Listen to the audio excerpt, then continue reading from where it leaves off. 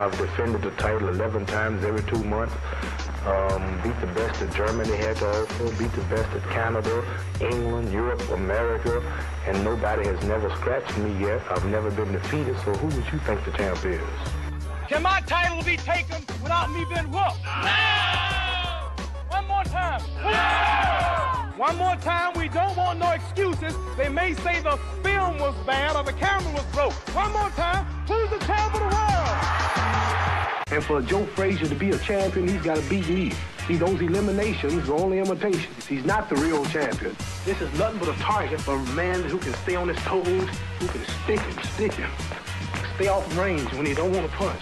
When he's ready to punch, move in. Stick, stick, stick, stick, stick, stick, stick. That's what you do a man like Joe Frazier.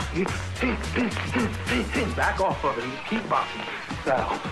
Nowhere in the world from a man that don't have no footwork catch me. Even the welterweight.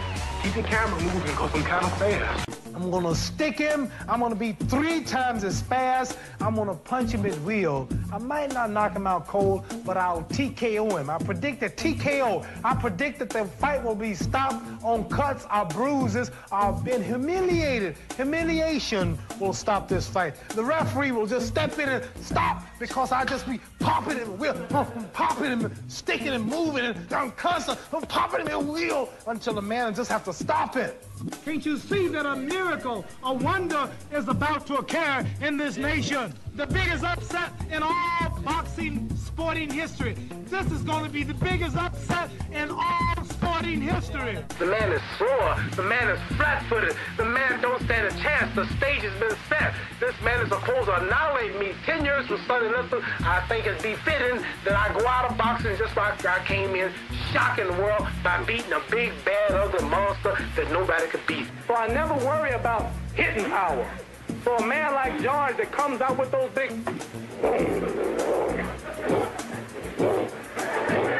That's why he throw him, he draws them back. Come on, sucker, keep punching. Come on, show me something. After a while, it's oh, We naturally get older. I have about six gray hairs in my head now, where a few years ago I had just one. So naturally, we never can be like we used to be. I don't have to pop, pop, run over here, pop, move it, all that little boy stuff, because now I'm the old man and they're the young boys. So now I can just take my time and do the rope a dope and let them punch themselves out. And every once in a while, do just enough to win, let them punch themselves out. It's brain now. He's old. He's all washed up. He's got brain damage. He can't talk no more. When he talk, you don't understand him. Do you understand?